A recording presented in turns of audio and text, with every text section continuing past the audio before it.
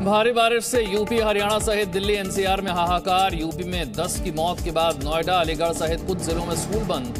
तो गुरुग्राम में प्राइवेट दफ्तरों को वर्क फ्रॉम होम की सलाह। आज फिर मूसलाधार बारिश का अंदेशा। एनआईए, ईडी के ज्वाइंट एक्शन से 15 राज्यों में पीएफआई के 106 सदस्य गिरफ़्तार, संदिग्ध गतिविधियों की वजह से। मध्य प्रदेश में संगठन पर बैन की तैयारी।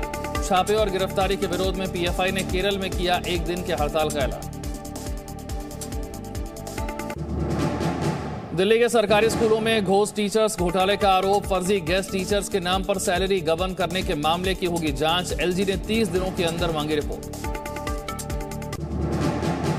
अयोध्या में लव जिहाद केस की जाँच करने गई पुलिस पर फायरिंग, मुस्लिम महिला पर लगा शादी के बाद 12 साल तक हिंदू बनने के ढोंग करने का आरोप। एक पिता ने भी किया एएमयू की छात्रा के लव जिहाद की शिकार होने का दावा।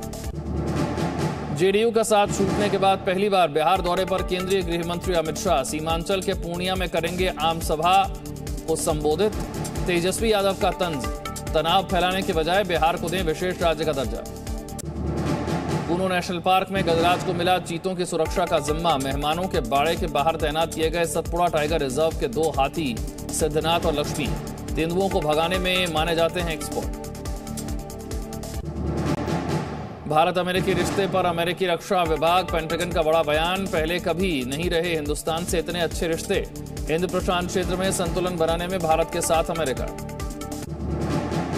रूस यूक्रेन जंग रोकने के लिए मेक्सिको ने यूएनएससी में की एक पैनल बनाने की मांग। मेक्सिको के विदेश मंत्री ने कहा, शांति समिति में रखे जाएँ। प्रधानमंत्री मोदी के अलावा पोप फ्रांसिस और दूसरे नेता।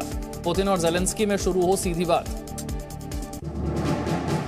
यूएनएससी में आतंकियों पर प्रतिबंध लगाने में अड़ंगा डालने पर भारत ने उठाए चीन की मंशा पर सवाल। राजनीति की वजह से आतंकवाद के समर्थन को बताया दुर्भाग्यपूर्ण। विदेश मंत्री जयशंकर ने फिर कहा, भारत को चाहिए यूएनएससी की स्थायी सदस्यता।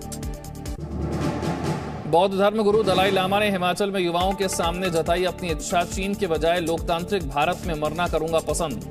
भारत के लोगों को बताया, प्रेम से लबालब, सच्चा दोस्त।